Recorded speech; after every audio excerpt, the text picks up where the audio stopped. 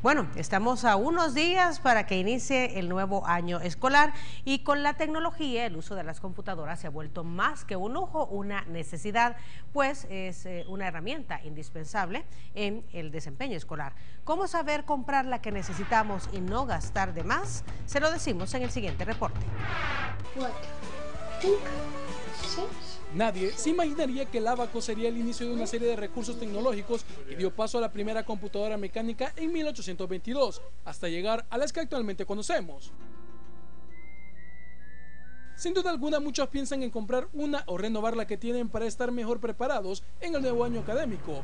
Y para saber cuál nos conviene, el primer paso es saber con cuánto dinero contamos. Alguien que cuente con un presupuesto bajo, por así decirlo, lo recomendable sería este que es una computadora básica que le sirve para navegar internet, buscar tareas, trabajar en Office eh, y uno que otro programa.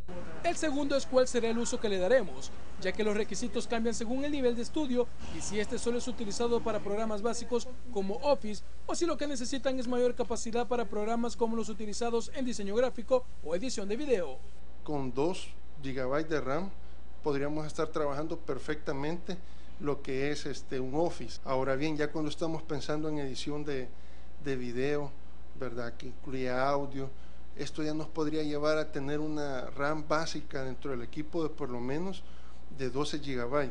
Para esto hay opciones como comprar una computadora completamente nueva de compañía o las conocidas como clon que pueden ser más cómodas, aunque también puede inclinarse por una usada cuyo precio es a partir de 75 dólares. Las clon rinden para las tareas que él va a utilizar.